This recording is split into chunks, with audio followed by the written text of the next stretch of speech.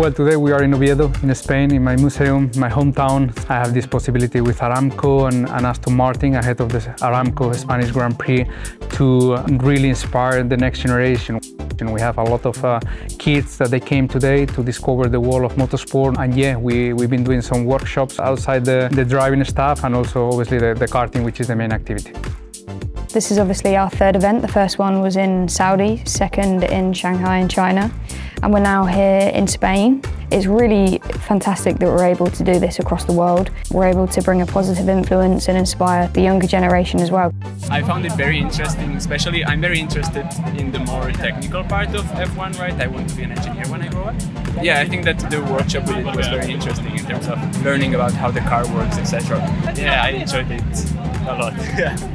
We're really lucky as students to have this opportunity to be able to not only meet Fernando Alonso, obviously, but also to have a fun day.